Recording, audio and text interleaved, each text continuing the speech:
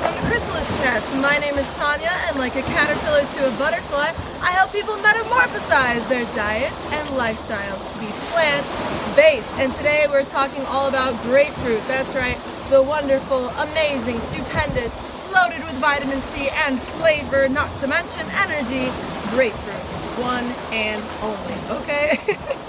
so with that said, friends, how do you pick a good grapefruit? Well, I'm so glad you're thinking about it because I love grapefruit. Personally, it is one of my favorite foods, hands down. Reasons being, it tastes delicious. It's super, I just feel like it's juicy and hydrating and just so good for me. I know for a fact that grapefruit and other citruses, but especially grapefruit, are really good for cleansing out any additional mucus you might have in your body, which a lot of us, as I'm sure you know, friend, a lot of us just have mucus in our body. And that has to do with a lot of different things, what we've been eating in our food supply, as well as what's going on in our atmosphere, okay, in terms of weather control and things of that sort. So with that said, it's really good for you to eat grapefruit, and today we're talking about how to choose a good one. So the first thing that I like to look for when I'm choosing a good grapefruit is the color. As you can see, this is a beautiful orange, okay? This grapefruit is amazing, okay? And this is actually on the underside a really light color. I wanted to show you the difference. So there's that color and then there's like the much darker, richer color you can see right there. Generally speaking, you want to look for a grapefruit that has majority, if not all, this color. Reason being, when you cut it open, and I have one cut open here to show you guys as soon as I can prevent things from rolling down this little hill. so this is what it looks like on the inside. You can see that, right?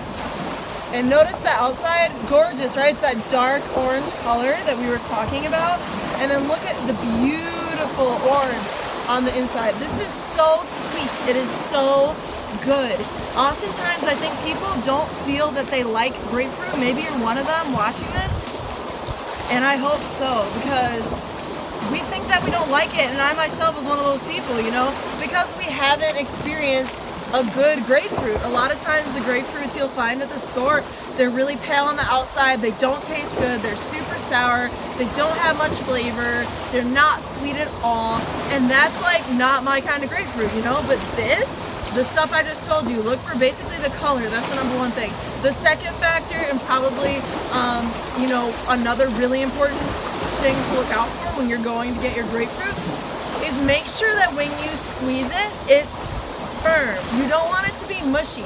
Now, when it is that nice dark color I just showed you like that, it will start to soften up. And if your whole grapefruit, like the one I cut here and showed you, if it is really dark on the outside, it's gonna be softer generally, like here on the skin. It's similar to other fruits where if it's soft, like you can hardly press it, or it's a little soft, it's totally fine. However, if it's like really soft where you feel like your thumb might just like go into the fruit, just like most other fruits, that's a good indicator. Nah, that's a little too ripe. I'm gonna pass. Thanks, but no thanks. So yeah, and the third thing, you know, obviously go organic whenever you can.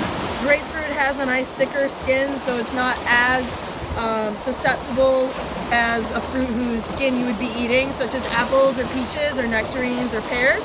Those you really want to make sure you try to get organic because you're eating the skin that whatever was sprayed on it was sprayed on. But in the case of grapefruits, I just find that organic tastes better, like with most uh, fruits and veggies. So with that said, my beautiful vegan friends or friends interested in introducing more plants into your lifestyle, I'm going to wrap this video up here. Be sure to stay connected. Check out my website, chrysalisandcocoon.com.